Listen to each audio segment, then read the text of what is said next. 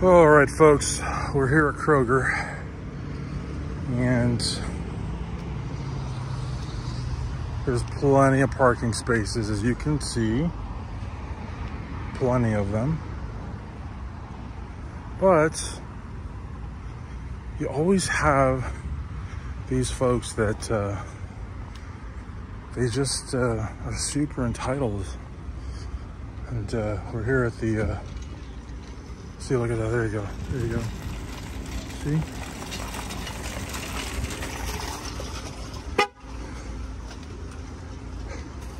There's nothing wrong with her.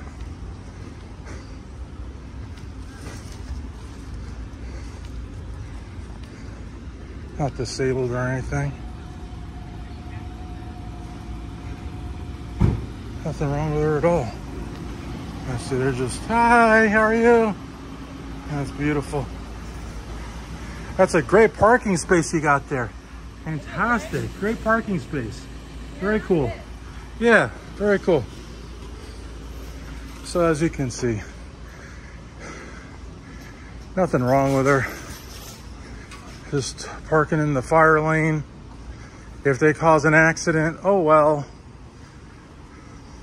No problem. And they do cause accidents. But uh, at that plate there. 067 ZAR Volkswagen. And, you know, they got their croissants on there on the dashboard. You know, I mean, why, why park like everybody else when you can just